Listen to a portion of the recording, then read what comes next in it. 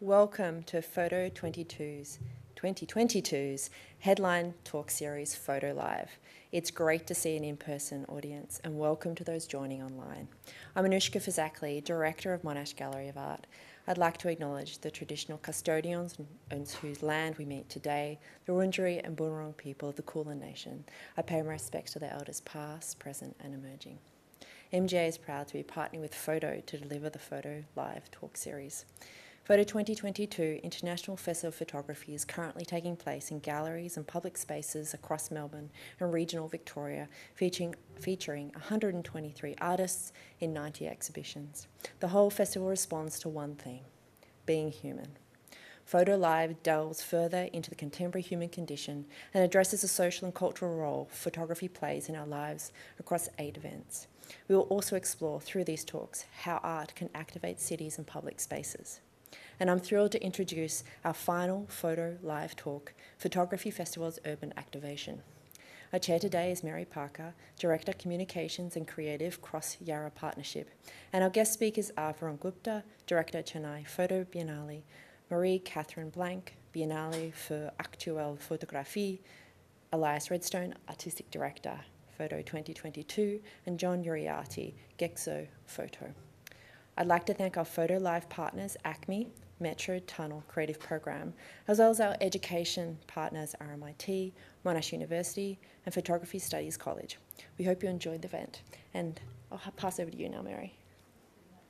And welcome everybody and welcome everybody who is joining us online.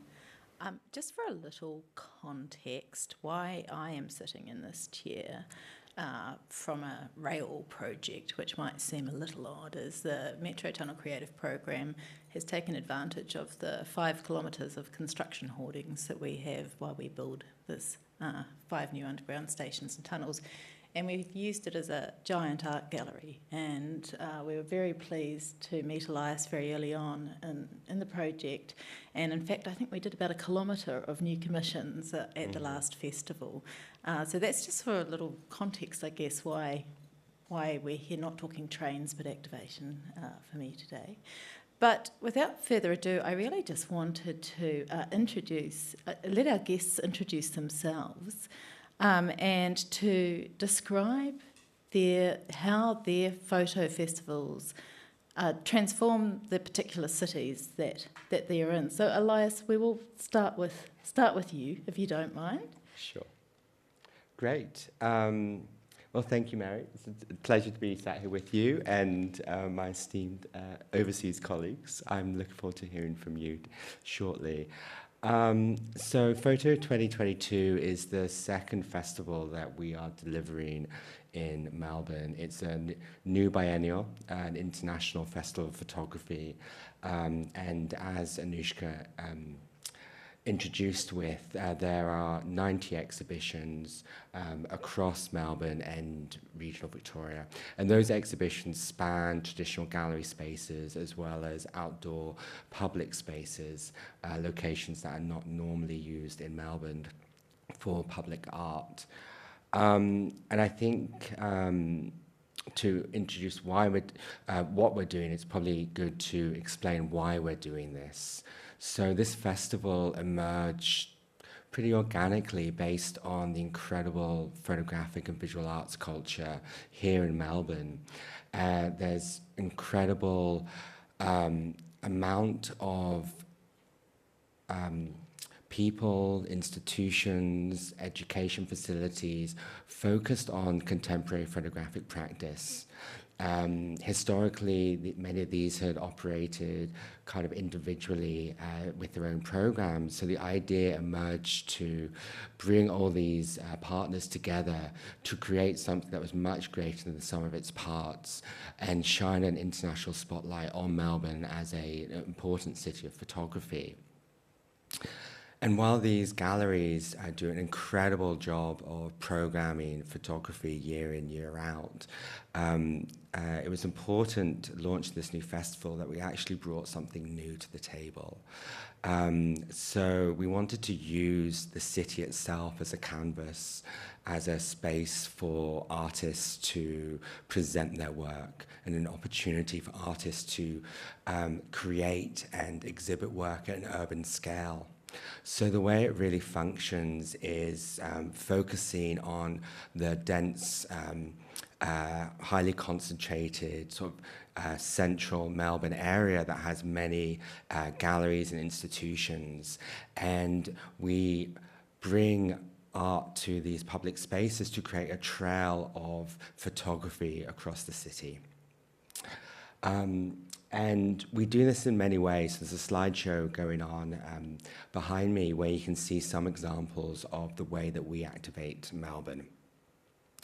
Um, we have a number of display techniques. We've designed and constructed a series of bespoke structures to present uh, photography.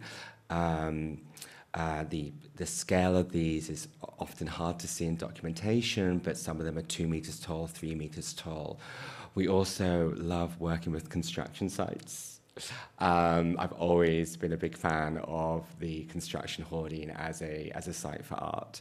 So we collaborate with um, Metro Tunnel Creative Program um, to um, present incredible photography um, on these, you know, often very long um, construction sites. So one of the longest artworks we have in the festival this year is 150 meters.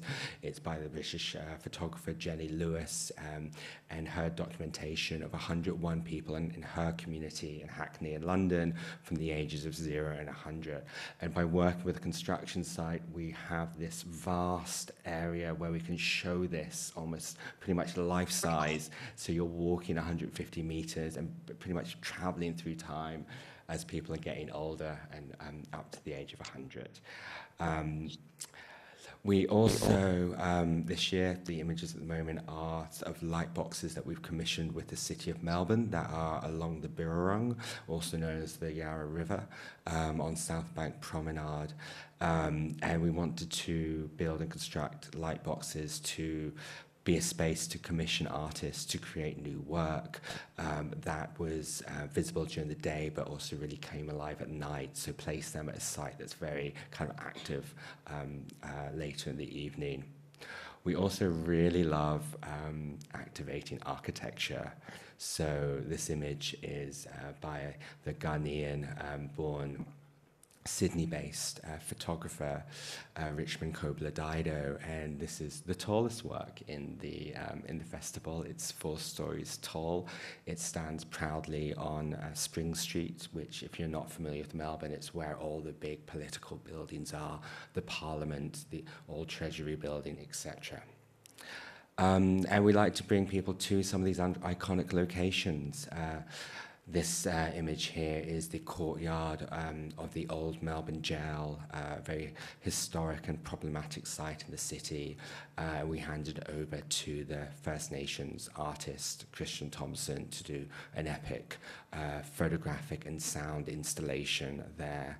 And as well as going to some of these really iconic locations, we present works on the steps of the, the Parliament of Victoria, on the steps of the old Treasury building, in some beautiful gardens.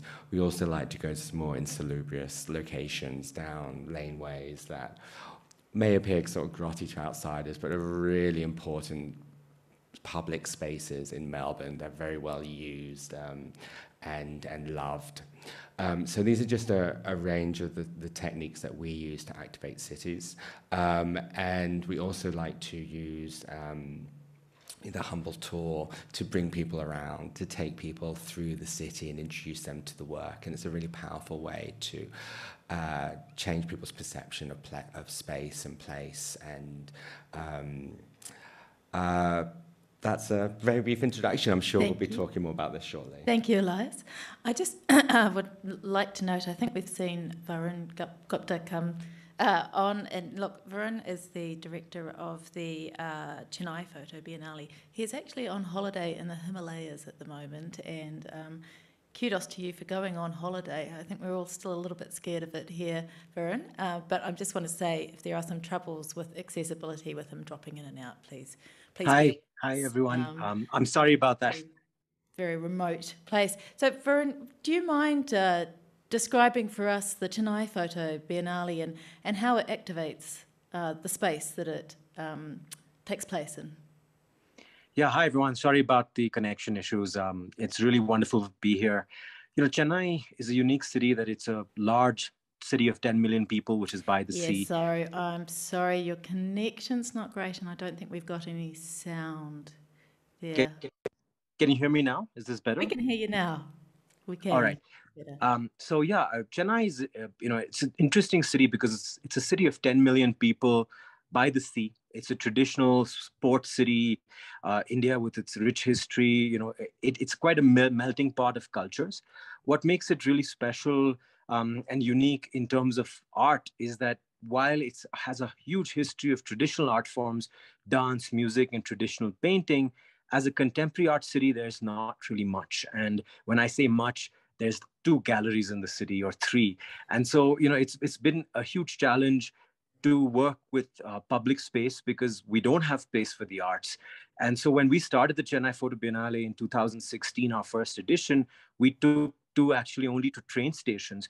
Um, and then from there we began because we have this huge network of abandoned buildings as train stations. And we felt well you know that's a good way to begin because often you have an audience that's not necessarily there for the art they're on their way to work and you can confront them with art. And that was quite a successful experiment and we've grown since then. So we've taken to places like parks like beaches and i'm sorry i don't have photos to show everyone. Um, like mary said i'm traveling but um, it's it's been an incredible journey where we've been able to experiment with many different formats. And another unique challenge of being in chennai is that it's not a city with a large contemporary art audience so every time we have any exhibitions, we start from scratch to create an audience. And one of our most sort of successful experiments has been the use of historical buildings, especially buildings that the city has forgotten in some cases. Uh, in 2019, we were able to open many of these buildings for the first time in 50 years to the public. And we saw people flocking into the venues as much for the buildings as for the art. And I think that's that's a space that we we know that we are working in. And it's um, while we would love to believe that people come in just for the photographic art i think it's also important that the space itself has its draw. And um, in 2021 which we've just closed our third edition of course covid played a lot of spoil sport. We had our third wave right in the middle of the edition. And um, we had to make it a lot smaller. But what we did was instead of just making it into private spaces, we took to private um, libraries. Um, these are spaces that are frequented by people. And so we converted a lot of these galleries, uh, a lot of these libraries into our exhibition, primary exhibition spaces. And thankfully, the second wave died down just in time for us to open one large public show in the museum campus in Chennai. And that, you know, um, it, it's when we say we activate space, I think it's really been we start from scratch. So on the beach, we quite similar to what Elias showed from photo 2022, we've had these large hoarding style images placed on the beach, um, confronting the viewer and drawing them to the artwork. Thank you, that's wonderful. Jon, would you like to talk us through Getxo, Getxo photo?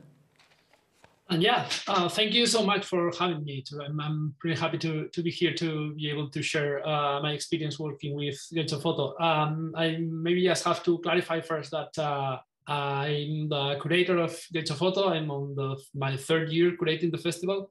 Um, and it's a festival that takes place in Getxo, which is a beautiful town near Bilbao in the north of Spain uh, which uses also outdoor installations and uh, like um, non-conventional spaces that we call like, uh, eh, which is basically every space that we can like manage to use during the, the festival. Um, we not only organize uh, exhibitions, but also workshops, talks, guided visits, um, many other activities. And uh, it's a festival organized by a small organization It's basically a couple uh, who started this festival 16 years ago, and uh, they've been running it through all these uh, years.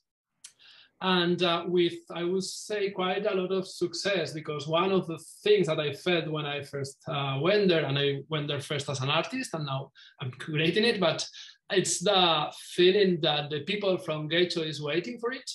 So i guess that as the festival has been there for so many years now uh, everyone is expecting it so it has become like part of the uh, uh, like yearly activities of the town um, the festival usually uh, shows around 20 to 25 uh, works from local, national, and international artists. And uh, it's uh, has its particularities. It used to be a fisherman's town. Uh, it's uh, like uh, 20 minutes from Bilbao, which is a pretty big city. Uh, it keeps like this beautiful fisherman um, neighborhood and also the beaches and some other uh, modern areas. And the festival usually takes place in some of those uh, very iconic spaces where people like usually passes by, but we also try to experiment every year finding new locations in, in town to uh, also try to, to uh, play a little bit with the spaces and the possibilities of, of outdoor uh, installations. And um, as I said, it's like a very familiar, a small uh, festival that I think that it has grown uh, quite a lot in the like everyday lives of, of the people from Getxo and also the people around Getxo who, who likes and enjoys uh, photography. Thank you. And Marie-Kathrin.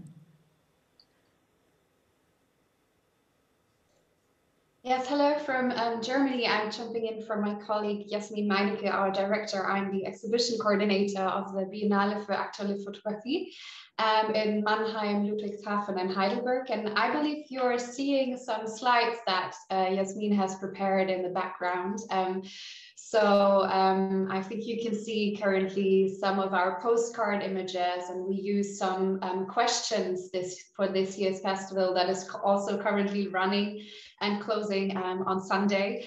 Um, and yeah, those questions we use to activate um, each ex exhibition there in German because mainly our um, audience locally here is German, but we also have a lot of international um, visitors. And um, yeah, what's sort of um, characteristic for our festival is that um, it's a cooperation between three cities.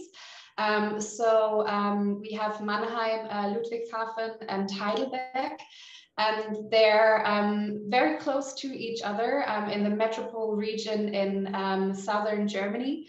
And um, we work together to bring these cities into a dialogue. so we have our six partner venues in those cities that are mainly museums and exhibition halls. Um, we work with them every year or almost every uh, for almost every edition. We we are um, uh, we happen every two years.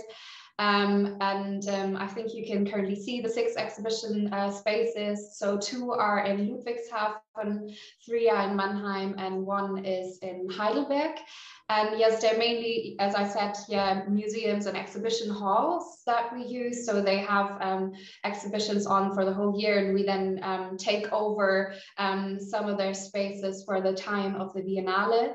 Um, we always invite a guest curator or um, a curatorial team to um, to create a program for um, every edition of the Biennale. So this uh, Biennale was um, Iris Sikking from the Netherlands.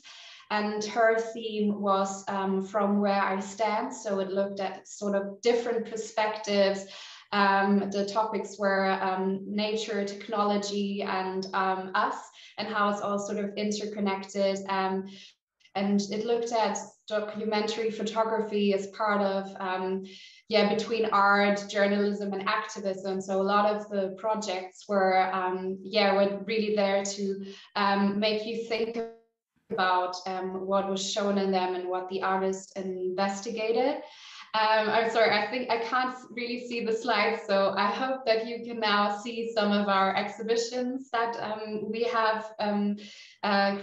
So um, we have um, a couple of exhibitions as a sort of uh, overview for you so that you can see um, our spaces that we work with. So um, these are mainly yeah, in the museum space. For example, um, changing ecosystems in Heidelberger Kunstverein in Heidelberg, which looks at biodiversity and um, other projects that yeah, look at how our environment changes through um, human interaction. And also um, similar to that, the exhibition in the Kunsthalle in, in Mannheim.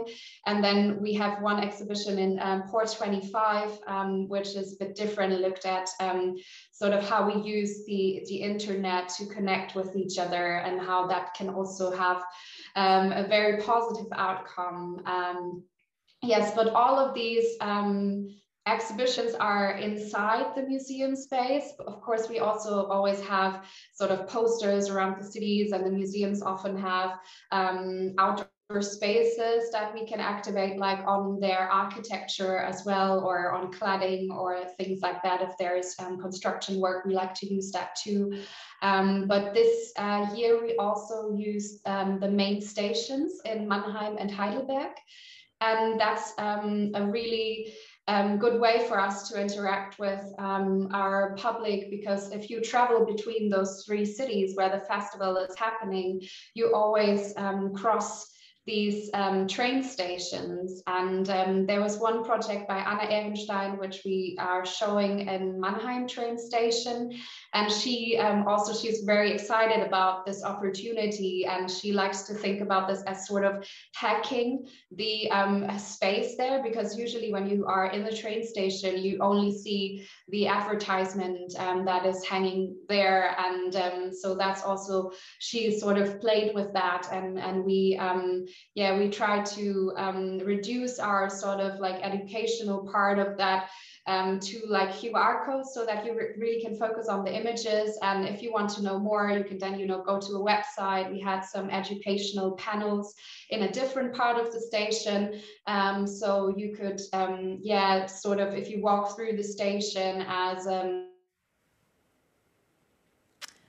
think we've just lost Marie. Um, you could, um, yeah, just it's over different parts of the stations. Can you still hear me? Yes, we can. Um, thank you very much for that, Marie-Kathrin. I oh, okay, good. I think we've all probably uh, got together a very good travel itinerary of seeing uh, photography in German train stations, Spanish beaches, and abandoned buildings in India. I think that sounds like a pretty good itinerary to me. Uh, you've all sort of touched on something that I, I, would like you to explore a little bit more, and um, selfishly, this comes into my work quite a lot that working in the public space, in the public realm, where people don't have a choice to come up against the art that you're curating. You walk into a gallery space, people have chosen to go in there, um, and so you can perhaps be more provocative or confronting. Uh, you've got a crowd who might be a bit more educated in, in what you're showing and interested in it, but in the, in the public, you know, people are almost accidentally bumping up against the art. So I was just interested to know how, with your with your festivals, you manage the difference in commissioning um, public art and what you have to think about when you're doing that. Over to you, Elias. Okay, I'm happy to begin. Um, so I think you mentioned commission. I think that's something important to, to add that we actually commission a lot of new work, especially for the festival. And that's either with specific sites in mind or as the artist project develops, we, we consider the most appropriate space in the city. Um, and it's always an interesting challenge, but it is, it's very true. Curating for the public realm has many similarities to um, a more traditional exhibition space, but also many big differences. And you have to take that into account. And that's everything from the fact that you tend to not be dealing with traditional materials. We're, we're not presenting any silver gelatin prints in the Melbourne weather or sunshine, that is for sure. So we're first of all dealing with different types of materials, often high-tech materials. I think there's an image of a, Atong Atem's new commission Surat uh, behind me, of the Department of Treasury and Finance, and this is a high-tech guess, wallpaper in a way that's recyclable, that can go up, that withstands um, uh, uh, sun and rain, but also does no damage to the building. Um, this is one of the con uh, construction hoardings that we that we uh, present a new commission by Thandiwe Muriu for the specific site in the city, and it's really understanding how people use cities, how they interact with the space just like this so that you're thinking about the most appropriate work for it. So there's an element of surprise and joy as you go around the city.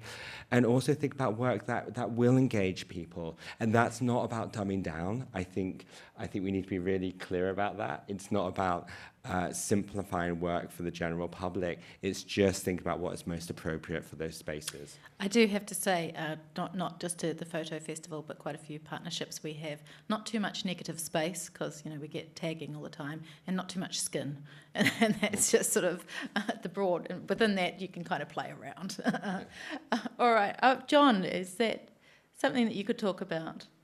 with your festival? Um, yeah, I mean, uh, I think that there are big differences um, in between like uh, showing artworks in galleries and in public space, uh, and, and, being very practical.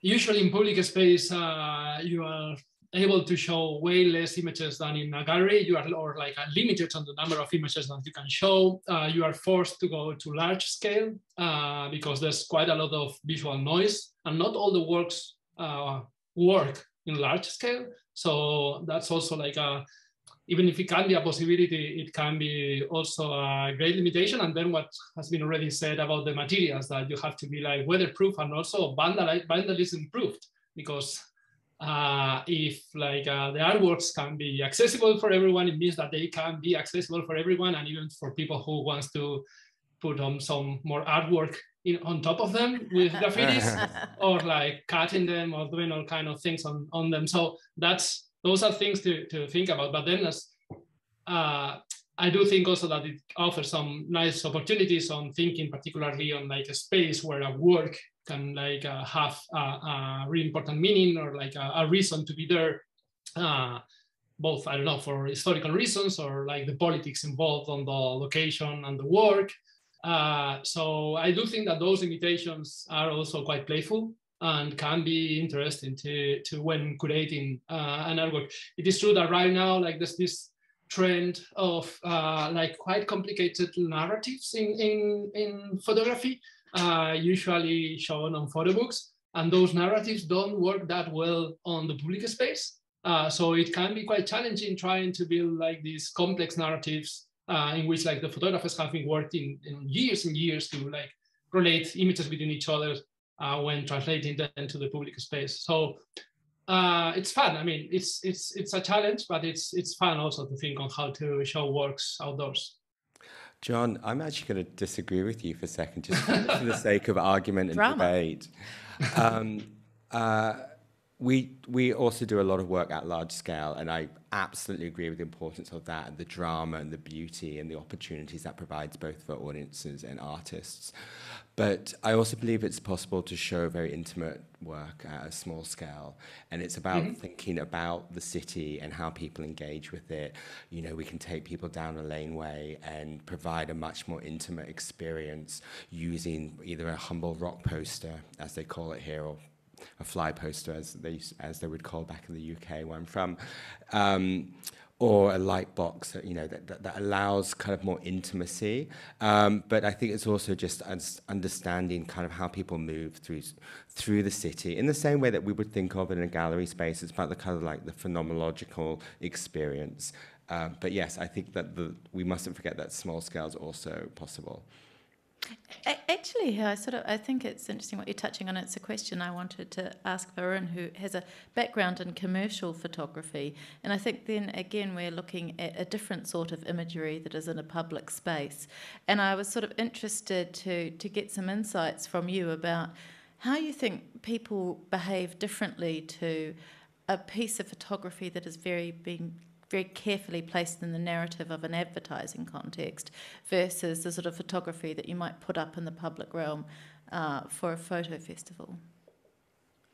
Yeah, thanks for that question, Mary. I mean, this is quite fascinating because I'm also from an advertising background and I've worked in digital marketing. And I think today people are flooded with images and that's the bottom line whether it's on social media or in public space and um, you are competing often and and i i see the role of the chennai photo biennale even in the city so in 2019 we did a lot of our um, exhibitions within trains uh, metro trains within the trains as part of signage that yes. traditionally is reserved for advertising and i think um, the metro I mean, what it does is people are confronted. So I think what you do is for a second you confuse them, um, and I find that's quite exciting that what in, in the mind frame that they're looking at something, they're supposed to see an ad for a bank and suddenly they're seeing an artistic work being presented.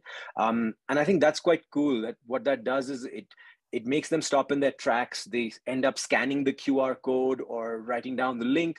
And I think that's, that's quite exciting because um, there is a fine line, but at the same time, if you present the right kind of work that has a commercial feeling to it sometimes photographically, then you can even interplay a little bit more. And so in 2019, our Biennale was called Fauna of Mirrors. And there was a lot of this performance-based photography that was being presented. And that sort of really worked well in public space, I found. And um, I find that people often stop, look more, and it has better impact than advertising, which often people have learned to ignore. Fantastic, thank you. Um, the next question I was hoping Marie-Kathrin could uh, lead us off on, um, and that is, you know, the, the title of the talk is uh, Photography Festival is Urban Activation. And, you know, for the last couple of years, we've been in a period of disactivation in a lot of ways. Um, with activation usually tends to mean that there are people. It's not just the 2D of the, the photography. It's actually somehow bringing a sense of festivity and engagement and placemaking. Um, but as, as, as a festival that has been running for some years now, how, how do you think that audiences have changed in the way that they respond to the activations that you put on?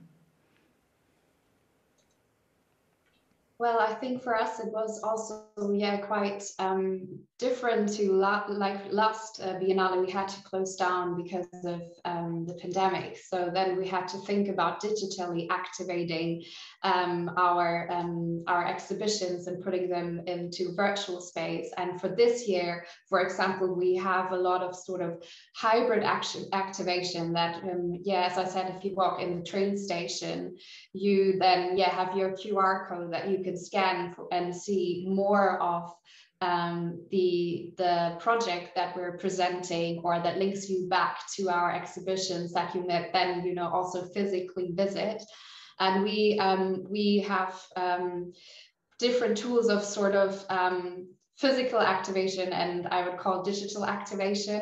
We have a so-called thing called Biennale in a book where you can curate your own exhibition um, digitally. It's a, like an app um, that you can access through our website. And then you can, you know, print it as a book and take it back with you to the exhibition space. So that is something that we um, try to do um, for this year's festival. But then we also have a lot of workshops and um, other program that activates um, the artworks um, other than, yeah, talks and, and all of that. And we had a very interesting workshop this year as well with the Surfrider uh, Foundation, um, um, we did a cleanup because one of the artists in one of our exhibition, um, he was looking at, um, yeah, trash and how it travels in the world and then the specific the specific depot in uh, Nigeria. And then um, we invited him and these um, surf riders, and we made a cleanup, and people came and we actually cleaned parts of the city of Mannheim um, together. So that was a very, um, yeah, interesting way of activating it, and also, um, yeah, really a different audience that we could then invite to join us. And afterwards, we invited them to see the exhibition, and the artist gave um, Adeza Khan. He also gave um, an introduction to his work then was sort of a different perspective coming from just having, you know, done a cleanup. Thank you. The next question I want to ask is just sort of the, the model. All of your festivals are a little bit different and I do. Uh, I'm a New, New Zealander by by birth, and I recall a wonderful story where uh, there's a little town called Wanaka, um, which is very beautiful and uh, has very expensive real estate, and quite a few affluent people uh, live there. And there, there was a couple of bright sparks who wanted to start an art festival, and they invited uh, 50 people for dinner, and they said, "We want to start an arts festival," and they went, "Oh, that's wonderful!" And they said, "That's great. Please leave thousand dollars on the table when you leave." And they uh, started with a seed fund, fifty thousand dollars from a dinner, um, which I thought was just sort of a, a clever sort of way. But I guess, uh, Elias, you know, you have you started a festival during a pandemic, mm. which is a brave, brave man. uh, but you have also, you know, shaped um, you, particularly outdoor activation, and your commission seems to be something that's um, important to that. So, is it is it uh, a calculated model that you've taken, um, you know, for for the Australian Photo Festival? And I guess I'm interested in the model of, of all of the directors here today? I think it's a great question because there's photography festivals and there's photography festivals that are not definitely all alike and everyone has its own charm and and um, uh, um, and it's it's wonderful to be able to go and see other festivals um, and I'm looking forward to seeing many of the ones um, that we're featuring tonight. Um, so when I um, set up this festival, I wanted to both build on the community that already exists here. This is it's a very different proposition to some of the festivals we're hearing about this evening. That there is a wealth of incredible galleries and exhibitions, venues dedicated to photography, like the Monash Gallery of Art and the Centre for Contemporary Photography, um, and all the people and culture and uh, image making that kind of swirls around that. So the way that I established it is each edition would have a central theme and while the festival itself focuses predominantly on the outdoor activations and uh, new commissions, we then invite the art sector to curate their own responses to that theme. So we invite different galleries, um, and when I say galleries, it's the full ecosystem of the art world here in Melbourne. So it's from the largest state institutions down to commercial galleries and some artist-run spaces. Um, and we do that um, partly to celebrate what they do, uh, make sure we're, we're bringing people to uh, to their venues, but also to invite in all the curatorial expertise that already exists. Um, it would feel a bit foolhardy for me to be coming in and be telling everyone what they should be or should not be um, exhibiting, um, but instead have a, a, conversation, have a dialogue with these incredible curators and museum directors about how they can um, add to the narrative of the festival. Fabulous. Uh, Varun, would you like to share with us the Chennai photo? Yeah, sure. Thank you. You know, our, our, model was when we started, it was that there's a void and there's a void that we need to fill. Uh, and the community of photography in India had the Delhi Photo Festival from 2012 to 2015 to look forward to. And then they sort of stopped and there was nothing. And so we sort of it, it felt like we must. And so we, we stepped in to start. And my background was in public art before, I was working for another organization called Art Chennai, which is the festival of contemporary art. And I was the director of photography within that infrastructure. And so it really was that, well, you know, it's time that photography had its own space. Um, like, you know, unlike Melbourne, we don't have the contemporary arts infrastructure in the city. Uh, so we took to public space initially. But also like photo 2022 or like the australian photo festival i think what's happened is we did invite and we continue to invite other smaller galleries to add to the narrative and respond to our curatorial uh, each edition so uh, in 2019 in fact we had six or seven additional shows curated by each gallery or a separate curator that they've hired to bring in. And th- that was also part of our model. And I think the way we're looking to go forward is it has to be a mix. It has to be a mix of what the Chennai Photo Biennale puts out as its own you know, uh, artistic content uh, and the curatorial framework, and then allowing other arts organizations to also interplay and participate. And one thing I'll add is, um, you know, something that also references a question you had earlier was what can we put out safely in public space? And in, in India, politically, it's a bit challenging to put out difficult work. And then when I say difficult, anything that doesn't meet the status quo is difficult and we really have to sort of play a very subtle dance with the government whenever because all the public venues belong to the government and getting those permissions without telling them exactly what we're showing is not an easy job. Um, and often they have questions on the content and we try to defend and we've had times where people have come and complained about shows and we've had to fight back and bring in the lawyers and you know, sort of keep the doors open because the show is political and that's what we believe in as a biennale and that's what we are interested in showing. Um, and I, I think that that we we continue to have to do that. And one way that we tackle that and you were asking how has the audience changed to uh, you know the Biennale für Aktuelle. I think for us, how have we changed is sort of exciting because I think we have also learned that we need to become more local in our flavor in our content and the artists and the artwork. So this edition, we focused on all our commissions to be about local subjects. And I think that was really interesting. So there's a particularly archaeological dig site, which is highly contested because it changes the narrative of Indian history. Uh, and we focused all our commissions on this subject. And that was very successful. People came in flocks to see that despite COVID because we were also talking to them about something that's really personal to the community uh, and not just the artistic community but the community at large fantastic Jon or Marie-Kathrin would you like to talk about the models of your festivals um, maybe just uh, because it's quite different. I mean, Getxo is a town that doesn't like uh, have even 100,000 people. It's, I think it's around 80,000, so it's quite a small town. Uh, so I guess that uh, the model with the other examples is quite uh, different. Also, I do have to say that I was not there when the, the festival started uh, because, again, I'm curating it, not directing it. Um, but I do know that Getxo is a town where uh, there's quite a lot of cultural activity. There's a contemporary art um, festival, there's a comic festival. Uh, so there's a lot of uh, cultural activities going on throughout the year.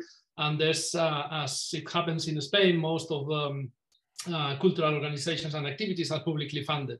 So it has the support of the city hall, regional uh, government, and also the Spanish ministry. So that's how how it, it uh, um, is able to, to, to, happen. We do have uh, quite a lot of collaborations with other organizations, but not particular, well, small ones from Getxo, but uh, I wouldn't call them uh, arts organizations. They can be restaurants or shops or like uh, this or like uh, commercial um, projects and enterprises that are in, in town. And then we do have collaborations with other uh, cultural organizations in Bilbao or San Sebastian and other bigger cities uh, in the area. Um, I guess that uh, one of the things that uh, uh, Joaquin and Lucia, who started the festival, have done very well is like how want uh, to communicate the festival. Because uh, I mean, the fact that I'm talking in a talk in Australia uh, from a festival that is happens in a town of no more than eighty thousand people, in which we focus quite a lot on on the local audience as well, on like trying to get very close to them. I think it's, it's a sign of success. So uh, maybe just in terms of scale, I thought that it was also interesting to, to share uh, the model that has been created in Getxo. Jon, do you mind if I ask a question? Um, yeah. I haven't, I haven't been to the festival yet. I'm actually hoping to come and see your audition. Uh, so that would be nice. That. Um, but uh, you mentioned Bilbao and San Sebastian. Bilbao's it's 15, 20 minute, 20 minute drive away. So it's yep. very close. Um, and just hearing about the, the Biennale in, in Germany as well. And we also work with regional cities that are two hours, three hours, four hours away from Melbourne. Um, do you, what to what degree do you have a relationship with Bilbao that is so close, or is it seen as very separate? Do you, you know you say you do collaborations with San Sebastian that's also up the coastline? Can you just yeah. elaborate a bit on that? Uh, yeah, I mean, uh, with San Sebastian, for instance, there's a, a center of, of uh, contemporary culture, let's say, and uh, we every year have a show there uh, that uh, usually an artist that is showing in Getxo is showing also in Tabakalera, in that space. And in Bilbao, we also have had some um, shows installed on galleries or other like uh, uh venues that uh, are uh, related to us. It is true that in these small towns, going like half an hour away sounds like crazy for like the locals. Even if like for me, who I, I like li I live in London, so I have to like take a least a 14 minutes tube to go to work every day. I'm very used to those like distances for local people, and again, uh, I think that Getxo Photo focuses quite a lot on local people. That's like a long distance, but still, I think that it's quite important to to create those networks with other organizations and to, to try to, to be part of a community that is uh, working uh, towards uh, showing and, and sharing uh, artwork and particularly photography in, in the area. So yeah, it's, it's I mean, it's it's it's an interesting, and I think that is something that we need to to, to do, and we always try to do. Uh, maybe not so much for the local people of of of Getxo, but for the people of the area, uh, uh, wider than the town. I wondered whether we might uh, see if the audience had any questions at this time. I can't see. This one there. Oh, great. Sorry, I couldn't see you. Hello. Hi. Hi everyone, I am Nina, and uh, my question is: Have you feel censored uh, trying to uh, expose one of the projects? Censored in the way that, Censored. yeah, censored. Yeah. So, w- Yeah, By So me saying no, what- no skin. yeah. What's, Yeah, what's the question about censoring? Sorry. have you feel? How do we feel about Yeah. censoring? No, no, no. h- Have you been sorry? Have we you been have you- censored? yes. uh, for work that we the- present. I mean, Yes. I'm, I'm willing to kick off, and I'm, I'm, I'm sure the others will say something similar. I think you, when you're dealing with the public realm, uh, you have to just be sensitive to what is socially acceptable um, or, and what is legal to present there. Um, and uh, like some of the other biennales, we also have to consult with landowners about what images we might be putting on their buildings, especially with dealing with uh, political buildings or people's homes, uh, things like that. So, no, um, here in Melbourne, we haven't been censored yet. I will disagree with Mary. We sometimes like to show lots of skin, but It's, it's appropriate skin. but- but- yeah. but in a very appropriate way. Um, and then, of course, in inside galleries, you know, the the rules are slightly different. So I'll jump in there because I mean, most recently, uh, two things. Well, 2019, there was an attempt to censor us. Um, there was a work on Kashmir. I, if you're familiar, Kashmir is a very contested piece of land in India. You know, um, it's been fought over for the last 50, 60 years. And there was a political protest. Somebody took objection to the artwork. The artwork was about uh, women's voices from Kashmir talking about husbands and sons who have been disappeared by their military police. And it was a very difficult work. And the work was presented incredibly in this beautiful heritage building. It looked like it was on a Quran, uh, and it, it was presented to provoke, let's say.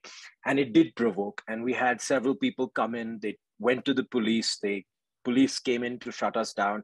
Um, and fortunately, um, between lawyers and the politicians who are supporting us, we were able to sort of negate that. And all we had to do was eventually put a piece of signage that said, This is a work of art, and you must take away what you want from it. And it, it's not meant to, you know, provoke. And I think we put that as just a statement. Um, it was a small cop out or a small compromise to make. Uh, going forward, we've been doing that because even in 2021, we presented another work on Kashmir, which was again very political. And in this occasion, we sort of preempted that by putting that statement out there. But I will say that thanks to COVID, we were able to have a very large digital edition in this in this year, and that digital edition was able to push a lot of boundaries that we were not going to be able to do in public space. And I think that's what was really interesting as a learning from us, for at least for this uh, edition, was that the digital space sometimes has a lot more anonymity, even though it can be seen and found. Uh, and artists were able to tell their entire narratives, which I know Jon was saying is often it's tough to put that out in public realm. And we were able to put out, you know, almost 300 scroll websites in which the artists had imagined the work. Um, and that's how they wanted it out there. And I think all of it was provocative, and I'm glad we got away.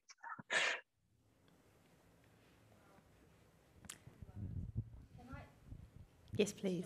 Oh, I've got a loud voice. I'm not Yeah. on a microphone, so I feel a little bit. Okay. I find it really interesting hearing from different parts of the world. So thank you. Amazing. And very different spaces indeed. It's very interesting to hear what was said just then as in the public coming in and responding and reacting to a piece of work. But then on the other hand, coming in and not allowing for the public to respond to that work.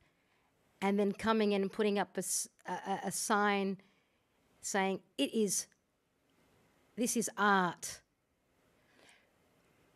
I'm very interested in this space because i feel that's just as important how a public a, a member of the public has the right to respond and react but again are we shutting them down for having a voice. I think that's why the public domain is very interesting to me. Mm.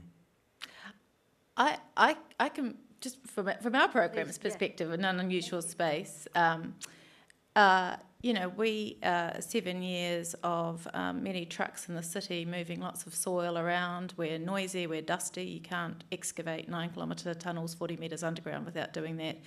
We are provoking the city anyway, and so it is very consciously that. And construction sites, by their nature, I love them. I love shipping containers as well. I love that industrial kind of canvas, but they're grey you know, and we are trying to make the city stay welcoming. So it is a very calculated curation of things that are lending towards joyous. And you know what's wonderful about that, to be perfectly frank, is we do a lot of work with the LGBTQI plus artistic community who who just bring that in spades. So many of our artworks, you know, the Huxleys have got me putting neon LED and, and sequins onto construction hoardings. You know, I don't think we're doing that anywhere else in the world. So so it is a calculated mm. thing to do that. For us, it, we're not there to, to be provocative when we already are anyway.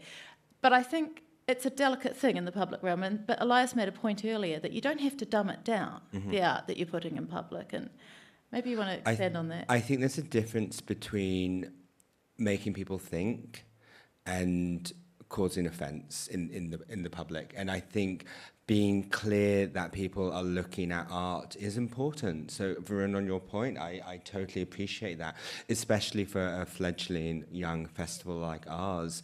We have to show that people are looking at art. This is an artwork. So, even when we take over sites of advertising, we are we are conscious about that. Maybe in the future we'll, we'll play around with that a bit more. And um, uh, uh, but for the moment, I think allowing people to know that what they are looking at is art and to be respectful to that and to be inspired by that and go away thinking about it. Not, not everyone's going to love every work we put out there. And some of the work that we, uh, we present is, is highly political. Uh, we don't shy away from topics, but I think there's just a few rules that we, we follow, and that's pretty much sort of no, no offensive language, nothing that is going to um, you know, cause direct offence and no full frontal nudity. But apart from that, we're, we're pretty good.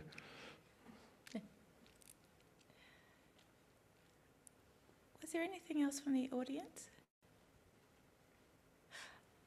Okay, I think we've got time for one more. I've got I've got one more question. I wouldn't mind just putting to you, which is, what what do you think the the vibe shift is going to be for photography festivals?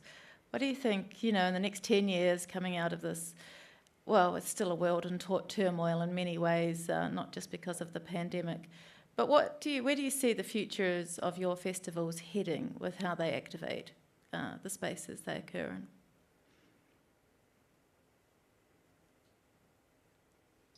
in? Um, so uh, I mean, as Getxo comes in two weeks, uh, that's why I didn't have the time to prepare the slides. I'm so sorry, but uh, we are quite uh, busy at the moment. Uh, but uh, and also, I mean, my own experience creating a festival has been during the pandemic.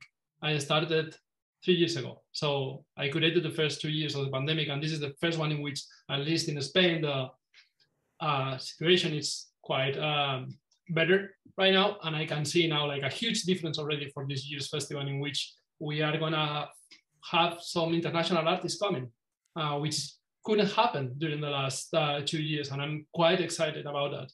Uh, and I can also think of like uh, people from other areas around Getxo also coming to to to the festival, and uh, I mean I feel like this uh, that we are all eager to meet and to like uh, uh, spend some time and occupy some public space, um, sharing it together around photography, images, and art, and uh, like trying to uh, uh, think through that and share those moments uh, through that. So um, I'm quite optimistic for this year, also because it's so close, and I guess that uh, I'm quite excited about it. And then for the future, I hope that we have learned something from the pandemic in terms, for instance, uh, when talking about festivals, and we've like briefly talked about digital extensions of the festivals. I hope that uh, some of that uh, will remain, but not only as like simulations of the of the physical spaces, but exploring other possibilities that the internet and the network image offers to share um, photography online.